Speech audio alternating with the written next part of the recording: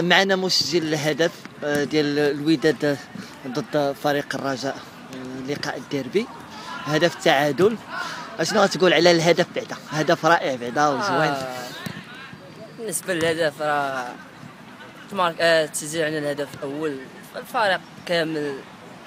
خدم عملنا باش نحاولوا نجيبوا هدف تعادل و جات فرصة واعدة وسجلت منا الهدف نحمد الحمد لله بعدا التعادل بعدا باش تجيب تعادل من من عند فريق الرجاء في الميدان ديالو. راه راه صعيبة شوية ومباراة الديربي راه بطقوس خاصة راه تتكون منافسة قوية بين الفريقين.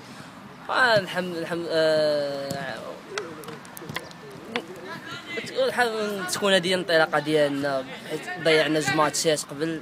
غادي نتمنى غادي تكون الانطلاقه ديالنا الماتش الجاي عندنا الاكاديمي مباراه هي صعبه نحاولوا نكونوا مع الخدمة إن شاء الله نكونوا مزيانين من هنا لقدام. لعبتي الماتشات كاملين؟ فبالنسبة للماتش الأول ما, ما لعبتش ما كانت خارجة لي اسونسيه الماتش الثاني كنت في رومبلاسمون الحمد لله هذا الماتش هذا هو الأول اللقاء الأول. اللقاء الأول الصفادي الصفادي دار فيها الثقة ودخلنا هذا الماتش بالدراجه وما خيبتوش الحمد لله وسجلت الهدف التعادل واش غتقولوا على الماتشات الجايين؟